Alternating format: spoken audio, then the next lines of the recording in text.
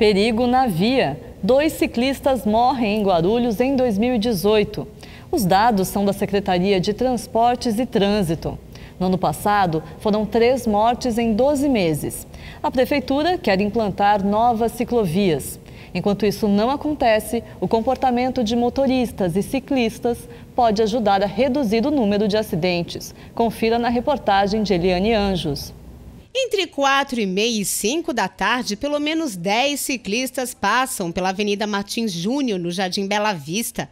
É gente passeando, indo para a escola ou voltando do trabalho, como seu Antônio José dos Santos. Aos 60 anos, ele pedala há três décadas e nunca teve um acidente de trânsito. Apesar de não usar nenhum item de segurança, respeita a sinalização e não se arrisca. Eu ponho o braço para o lado, ele está sabendo que eu vou entrar para lá. Se eu vou reto, eu vou pôr o braço para frente. E funciona assim. Na rodovia eu tenho medo sim. Por quê? Eu tenho medo porque os carros não respeitam a gente como a gente precisa. E também a gente está errado, porque praticamente é proibido andar em rodovia. Experiente, o seu Antônio sabe que não pode pedalar em trechos de rodovia sem acostamento ou sem via duplicada. Esse medo faz sentido. Em Guarulhos, cerca de 40% das mortes de ciclistas acontecem em rodovias. Teve um acidente há pouco tempo, foi divulgado na mídia, é, no Trevo de Bom Sucesso. É, poucos metros dali existe a ciclovia, né? E o munícipe insistiu em andar no lugar não apropriado. E o ano de 2017 tivemos três acidentes com mortes na cidade. Dois em rodovias, local proibido para bicicletas e, e apenas um dentro da cidade. Só que esse dentro da cidade também foi um horário perigoso, na madrugada, né? E a região bem escura. Para aumentar a segurança dos ciclistas, a Secretaria de Transportes e Trânsito pretende ampliar o sistema de ciclovias e implantar ciclorotas em Guarulhos. É, temos o corredor Santos Dumont em execução, que é o corredor de ônibus para acelerar o transporte público na região e a gente incluiu a ciclovia nesse, nesse, nessa obra.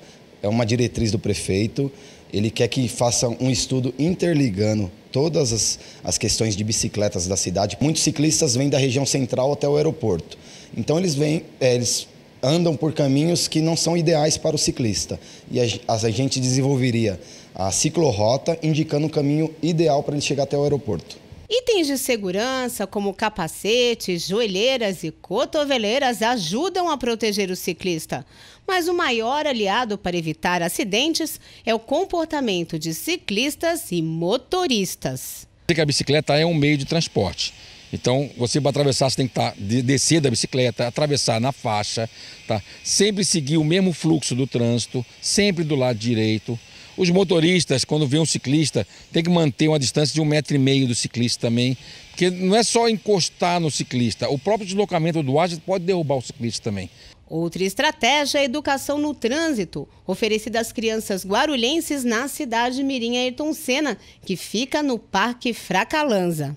A gente leva as escolas municipais escolas particulares para conhecer uma forma segura de andar de bicicleta. Lá tem algumas, é, algumas ruas internas onde a gente mostra semáforo, é, horários, tudo ideal para, a criança é, conseguir passar isso em casa.